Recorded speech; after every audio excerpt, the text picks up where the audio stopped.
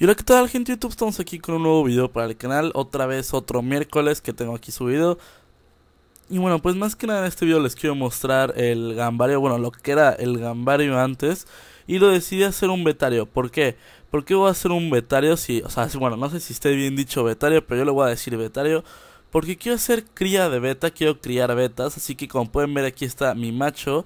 Según yo es un beta splendens, que así se pronuncia este tipo de beta, porque hay beta corona y hay varios tipos de beta. Aquí en Cancún, que es donde yo vivo, como ya saben, ahí hay una lámpara donde la tengo alumbrada.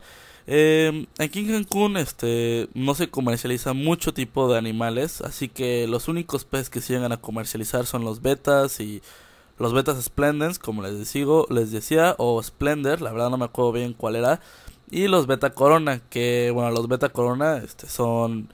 Bueno, les voy a dejar una foto aquí exactamente en la pantalla para que lo vean. Así que nada, pues les quería mostrar más o menos todos los caracoles que siguen habiendo y todo. Y como pueden ver, ya se acabaron muchas plantas. Y bueno, pues ahí está el macho. El macho estaba posando para nosotros, para la cámara. Así que nada, pues este es el primer episodio de de esto, ¿no? De la crianza de betas. ¿Por qué? Porque va a haber más episodios obviamente. Ahí pueden ver un caracol. se ve bonito, ¿no?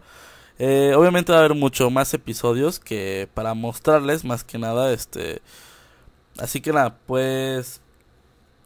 Este va a ser el primer episodio. Aquí, aquí va a ser donde va a vivir el beta.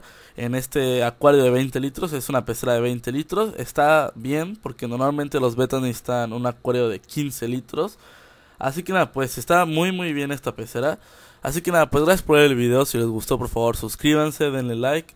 Y nada, pues nos vemos con el próximo miércoles con el próximo video.